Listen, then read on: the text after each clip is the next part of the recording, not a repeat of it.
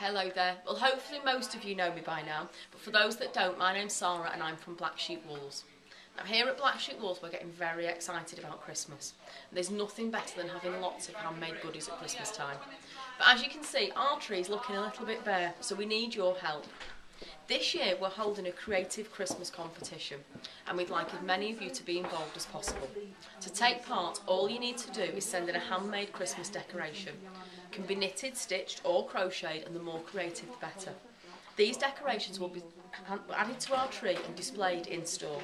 The week before Christmas, we'll then choose our five favourite designs, and all of these will receive a fabulous prize just in time for Christmas. If you need some ideas or inspiration, we've got some free Christmas patterns that you can download on our website.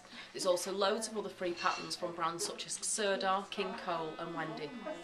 We're also hoping you'll share your other Christmas creations with us using with us via Facebook, Pinterest or Twitter using hashtag BSW Creative Christmas.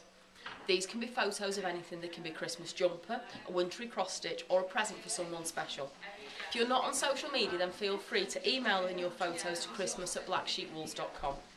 I know this is a lot of information so we have included a link at the bottom of this video with all the details on it. I can't wait to see all of your wonderful creations. So hurry up and send some in. You'll be able to follow the competition on our award-winning knit and stitch blog. Merry Christmas.